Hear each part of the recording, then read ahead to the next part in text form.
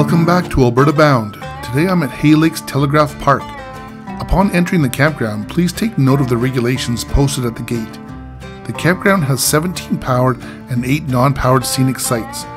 Included at the sites are fire pits and picnic tables and enough room to camp comfortably with your RV or tent.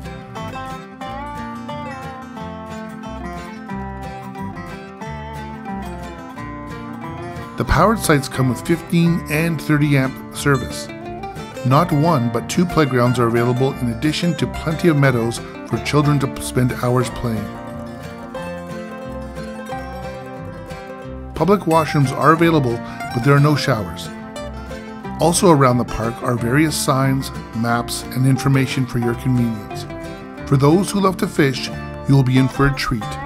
Telegraph Park also hosts a large trout pond 21 feet deep and is stocked yearly with approximately 2,500 rainbow, brook, and brown trout. Benches and picnic tables surround the pond. For those interested in a hike, the park contains 88 acres of natural environment to explore.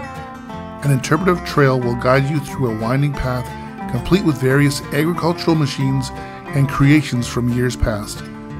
Feel free to wander and explore the beautiful expanse expansive park. Hay Lakes Telegraph Park offers a tranquil place to camp, fish, and explore. If you've enjoyed this video, please give us a like and click subscribe to see more fun and interesting places around Alberta. If you've been here before, please leave a comment below and share your experience. Visit albertabound.ca for more reviews and photos. Until next time, thanks for watching and explore more.